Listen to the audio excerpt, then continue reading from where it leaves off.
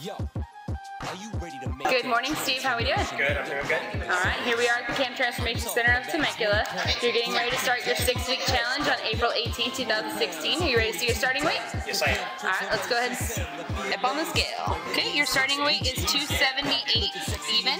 You ready to be six six weeks? Yes, I am. All right, here we go. Good morning, Steve. How are we doing? Good morning. Fantastic. All right, here we are at the Camp Transformation Center of Temecula. You're ending your six-week challenge, which began on April 18, 2016, is ending on May 30th, 2016.